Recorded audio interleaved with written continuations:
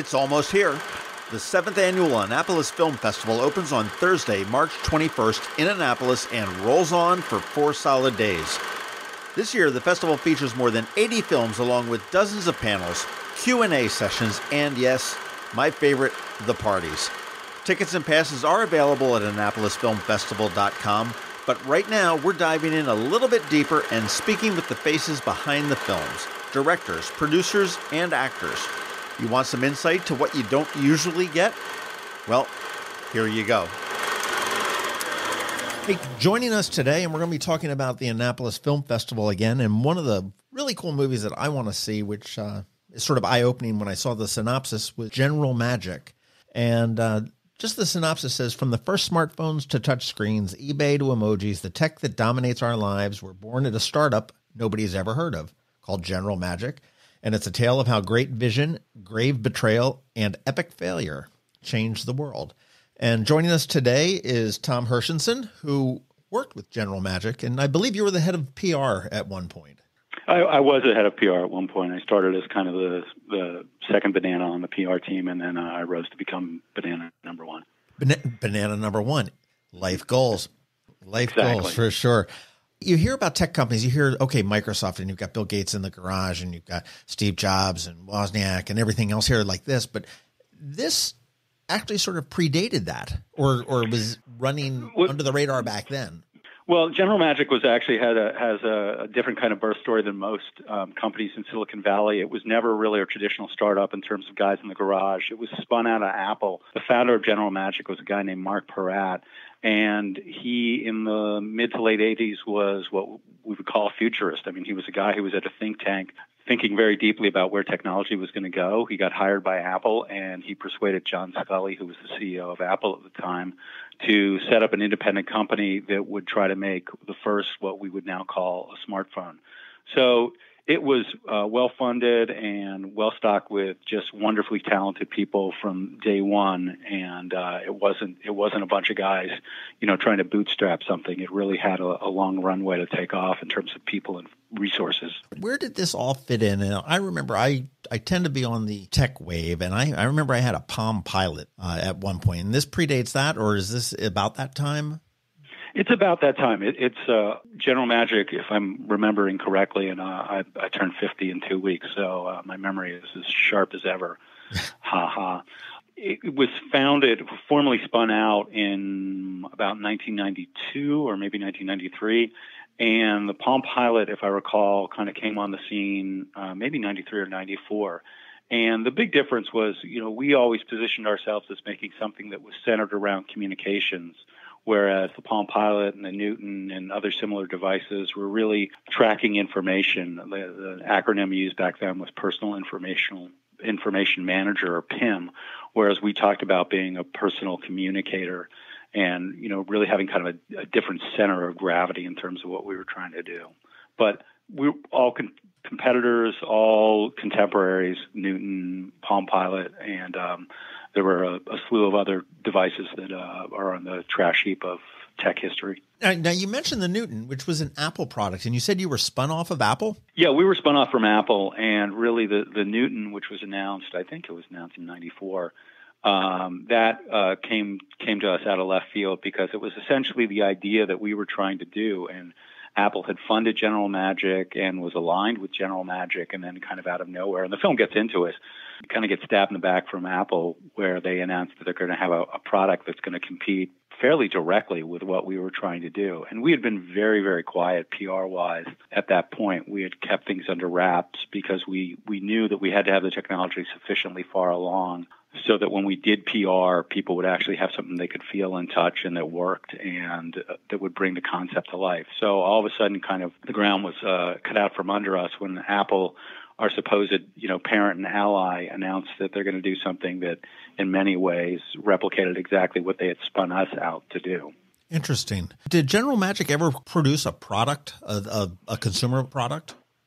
General Magic didn't. General Magic was a, a, software company. So we created an operating system called Magic Cap that ran on devices that were made by Sony and Motorola and Panasonic and Philips also were working on devices as well.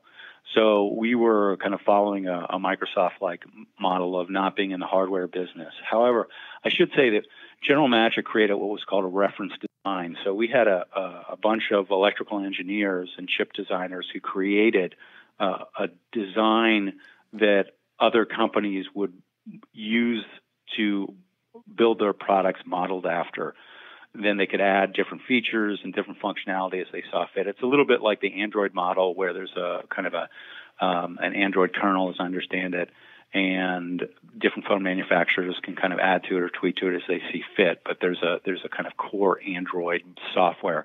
We did the same thing with we had kind of a core set of hardware that any device was going to have, and then we had the operating system that would run on those devices. Apple, like you said, Apple pulled the rug out from under you guys. And I, I know the tech world can be dog eat dog and uh, down and dirty and nasty and everything else. Is there anything to prevent that from happening now with any of the tech companies? I mean, what's changed in your view since you've seen, you know, so many, you know, we're going on 20, 20 plus years of this now?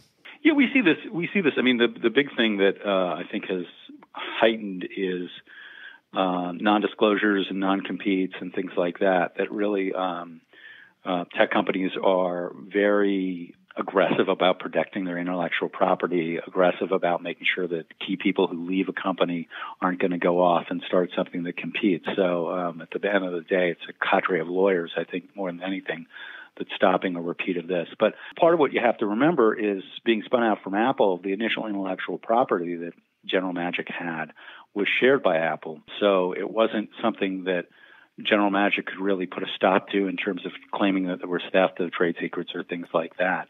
Uh, and that's part of the reason it was such a such a bind for us once uh, once Newton was announced because we didn't really have recourse in the traditional way. It also, you know, getting bogged down in lawsuits when you're a startup is uh, probably at the bottom of the list of things you want to do it's interesting to see, and I know that Megan Smith, who is also going to be joining you for a Q&A after the film, which incidentally is premiering here at the Annapolis Film Festival on Saturday at noon at St. John's College in their key auditorium. But Megan was instrumental in General Magic as well, and she has moved on. And the last I had heard, she was uh, an, well an MIT graduate, and she was President Obama's uh, head of IT or head of uh, there was there was a fancy name that they give these government. Yeah, workers. chief technology officer. Yeah, um, exactly. And where where did everybody end up with General Magic from when you were there? I mean, did they go on to to work for Apple or Microsoft and whatnot, or did they some people have come full circle. Uh, Kevin Lynch, who worked at General Magic, uh, is now head of the Apple Watch at Apple. Tony Fadell, who is retired now, essentially, um, uh, he was instrumental in the iPod and then the iPhone at Apple, and then he went on to create and found Nest with its family of devices, starting with the intelligent thermostat. Uh, Megan's had a long and storied career, both as CTO. She was at Google for a while. Uh, she now has a nonprofit called Shift Seven, which is really about harnessing the transformational power of technology for social causes. Pierre Omidyar, maybe some people have heard of him. He was uh, at General Magic um, and left to found eBay several other people left to found a company that, that uh, is now defunct, but WebTV, which Microsoft bought in the mid to late 90s and was the first attempt to have a, a browser and web access on people's televisions. So there are, there are a ton of you know notable successes coming out of it. Most of the people who worked at General Magic are still in the technology industry. Some are at Apple. Most are in Silicon Valley. Um, some are a little bit further afield from that. But uh, for a lot of us, it was a really crushing experience because General Magic was aiming so high. I mean, we really thought we were doing something that would transform the world, and when the company failed, uh, that was a, a really bitter failure for a lot of us. You know, fast forward 25 years and come to find out that the ideas we had were correct, the execution was flawed. But and you'll see this in the film. Marc Porat, the founder of General Magic, in 1988, drew a sketch of a device that did not exist at that point, and he described what the device would be able to do. And he pulls out of his pocket an iPhone in the documentary, and he lays it right next to the picture, and they, they look essentially the same, and the functionality is essentially the same. So that's a long-winded answer to a simple question, but I, think everybody at General Magic really was passionate about technology, and um, the vast, vast, vast majority of us remain that way and are still working in the technology field. Just curious, as as we see all the technology that's around here in the websites. I mean, we've got the social media, we've got Facebook, we've got Snapchats, and everything else that's gone there. You mentioned eBay. Obviously, you guys had some sort of a vision on personal communications back then. Could you foresee where we are today? Back then, we didn't. You know, we foresaw, we foresaw that people would be connected by devices that were very personal and portable, and that there would be many ways of communicating through them, that there would be many different applications that would run on them. Um, we foresaw software as a service where instead of buying a piece of software, you'd have a subscription based model. Um, emojis uh, came out of General Magic. What eventually became the USB port came out of General Magic. So there was a lot of stuff that we were really right on with and that's what makes it such a such a fascinating story how this company that got so much right ended up getting so much wrong the social network side of it was not something that we were really focused on at the company, and I don't think anybody anticipated how much it would um, explode, you know, as it's done over the past decade. We thought people would be much more closely connected, but we didn't anticipate kind of the the details of how people would socialize in networks um, in years to come. What do you What do you see for ten years, twenty years from now? Do you have any any crystal balls? Uh, not any crystal balls that are, are clear. Um, they're pretty cloudy. I mean, I'm very concerned about um, social media. You know, there's. I was thinking about in advance of this interview. There's a, a great book that came out in the late '70s called Four Arguments for the Elimination of Television, and in it, a guy who's a former ad executive said, you know, TV is just a technology that trends in a certain way. It creates certain social results. And I fear very much that we're going to see a lot more problems around social media in terms of it being corrosive for our politics and corrosive for how people interact and get along with each other. So I'm not I'm not an unalloyed technology optimist. I mean, I think there will be amazing innovations in terms of devices and in terms of products and services that are going to be out there. Um, I'm hoping the good outweighs the bad. I think that you know nanotechnology and biotech are new frontiers that are going to be um, really profound in the next 20 years. But like I said, um, I'm probably my prognostications are worth what people listening to this podcast paid for them. So uh, take it with a grain of salt. That, that's true, and I, I, do agree with you. I think that social media has, you know, certainly a, a very sharp double-edged sword there, and it's just so yeah. so beautiful that I mean, I've been able to connect through high school, you know, classmates that I haven't seen in decades and and we're we're virtually very tight. But then you look and you hear about all the different bullying that goes on there, and I mean, just you know, for you know, just most recently, the, the shooting down in New Zealand in Christchurch was done on Facebook Live, from what I understand, uh, which is just an entirely different uh, ball of wax there. And you're hundred percent right from what I can see is just the the good technology that's coming out of what's being developed in the hospitals and the the way to be able to you know records and be able to transport you know different things. I mean, I know, gosh, in my iPhone, I can turn around and if I get in a car wreck, I can tell access what kind of blood type I have and what allergies and everything yeah. else, um, which is absolutely fantastic. This just blows my mind that this technology was here. This presence was to be able to sit there and look into the future, and it just didn't work. Um, yeah, there's a great there's a great clip in it where um, and, there's there's a ton of archival footage. I mean, General Magic had a cinematographer that was documenting the company pretty much from day one. Well, sure, you guys so were a startup. That's what they do uh, out there, right? Yeah, yeah, exactly. Um, and um, you you just see a lot of remarkable footage that was filmed during the you know the heat of the moment. And in one, uh, Megan Smith is being interviewed showing a prototype of the device we were trying to make, and it's as big as a hardback book. I mean, it's it's not portable in any sense of the word. And the interviewer asks, "Well, how big will it be eventually?" And she she narrows her hands to the size of a, a, a smartphone today, and she says, um, "Eventually, um, there'll be wristwatches like this." So it's just stunning to think that you know in 1996 people saw that far ahead about what was coming down the pike, and it really is kind of the most successful failure in Silicon Valley that no one's ever heard of because um, the idea has really succeeded, but the company is a, a, case study in going out too early and all the kinds of problems that can doom a company. It really is. I was looking at the wiki page for General Magic, and it said that you guys were rumored to have rabbits in the office. Is there truth to that? there is truth. There's a rabbit and there was a parrot. Um, it was a place where people were working long and hard. I mean, you know, we used to joke that if they had laundry service, no one would ever leave because we did have meal service for lunch and dinner. And people built bunks in their cubes. I mean, that's how hardcore the place was in terms of the work ethic. Uh, there was a bunny uh, rabbit named Bowser, and I forget the name of the parrot.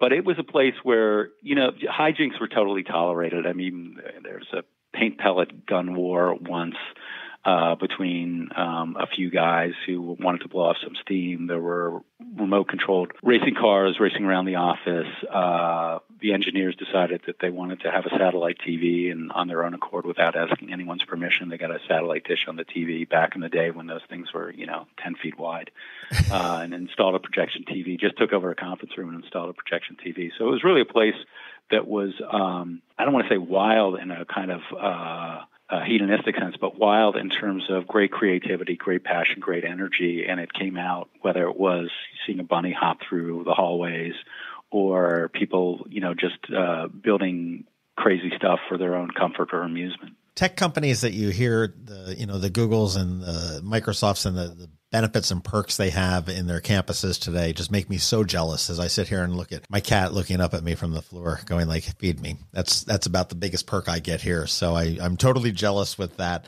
Oh, it's it's way beyond anything that we experienced at General Magic. I mean, I was at uh, visiting a, a, a former General Magic colleague at Google over the summer, and we went to have lunch. He took me to lunch, and they have I don't know how many different restaurant choices that you can pick from different cuisines. Um, and I said, you know, can I buy? And he said, what are you talking about? Google buys for everybody. And I mean, these are, you know, hundreds, if not thousands of people on that campus who are eating every day, you know, and it's just, it's considered completely unremarkable to have perks like that, let alone the other stuff that you alluded to. It's kind of interesting that I read an article in the New Yorker recently, and they were talking about Manhattan um, office buildings and where they used to be sort of cubicle farms, you'd have a, a, off, a, company would take over a floor and it would just be a bunch of cubicles. And now what they're finding is they, they can't do that because these companies won't go to buildings like that if they don't have certain amenities. So they've got group, you know, they'll have a craft beer bar, they'll have a, a recreation room, they'll have a, a swimming pool in some of them and different amenities that would be shared among many companies that might indeed build their cubicle farms. But it was the, a, kind of an interesting note on the real estate market in New York that they need to really adapt to this because even small companies, not the Googles, not the Microsofts, not the eBays and Amazons of the world, but Billy Bob's Bait and Tackle that may have 12 franchises and this is their headquarters, they need those kind of perks too to attract the good talent. Yeah, it's really trickled down, and it's something that's becoming more and more a must-have and an expectation of, of prospective employees. I mean, I remember when we got the first espresso machine at General Magic, and that was that was a big deal. And now, if you don't have a espresso machine at a company, um, I wonder if someone actually, you know, coming in for an interview is even going to take the place seriously. It, it's if somebody wrote it as part of a fictional comedy, you wouldn't believe it. But that's, you know, these the perks have gotten to a, a level that uh, I don't think was rivaled since the dot com era. Oh my gosh, that's I'm, I'm sitting here silently laughing as you say I, somebody would turn them down because there's not an espresso machine. That's awesome. Well, I'll, I'll, tell you, I'm not going to take too much more of your time, but Tom Hershenson, thank you very much for your time this afternoon. And you were the number one banana in the PR world at General I was. Magic. I was the number one banana. I, I, I'm dying to ask you a question of whether you actually are in front of a kitchen table and it's dirty. Uh, I listened to some back episodes of the podcast, and I'm just I, wondering whether. I, it, right now, it is not a kitchen table, but it is dirty. It was a kitchen Oh, okay. table. It was a kitchen table at one point. Technically, I'm not in a kitchen, but well, then it- it's not it- a kitchen table. well, it is a kitchen table. Now we, we have to get into a philosophical debate about whether the uh, location determines the, the table. That's true. We've got to look find out where the uh, I guess where the punctuation sits, the commas or something. But it is, it is it is a dirty table. It used to be in my kitchen. Well, hey Tom, I am looking forward to meeting you in uh, actually a couple days when you're here in Annapolis for the Annapolis Film Festival. It does get Sure. underway Thursday. The 21st and runs through Sunday the 24th. But the movie that the people that are listening to this need to see is General Magic. And it's the story about the tech company that nobody has ever heard of, but probably everybody is thankful that they existed because the technology is literally in the palm of your hands today that they developed. And that is going to be screening on Saturday at noon at St. John's at the Key Auditorium. And you can get information at AnnapolisFilmFestival.com. You can get your tickets and everything else there. And if you want to learn a little bit more about the General Magic movie, you can go to General Magic the movie. That seems appropriate for uh, you it's it's, app, it's aptly named, very straightforward, and I really encourage people to go see it. I mean, I, I can't be unbiased about it. I have such fondness for the company, but it's really eye opening, and um, the, the, film is funny. The film is thought provoking, and uh, I, I think people will really enjoy viewing it. And and I will point out that this is a documentary. This isn't a this isn't somebody's dream of what it was. This is this is the real deal. And as you said, they've got tons of footage there, um, which is certainly unusual for most companies back in 1996. Yeah. Um, yeah. And we will see Megan Smith. She'll be joining you as well for a Q and A yes, after the screening. Yep. And we look forward to seeing you guys on Saturday. Well, I look forward to being there. I really appreciate the time you've given to the interview. Um, I, I, hope I've had few uhs and ands and uh, have given answers that people actually find interesting. Uh, according to my daughters, I never do that, but uh, your kids will lie to you all the time. No, you did. Well, Every, everything well. was great. well, great. Thanks so much, and uh, I look forward to uh, seeing folks at the at the screening on Saturday. Absolutely, Tom. Thank you very much. Great. Thanks so much. Thank you for joining us to learn a little bit more about the films coming to the Annapolis Film Festival. Remember, tickets and passes can be obtained at AnnapolisFilmFestival.com.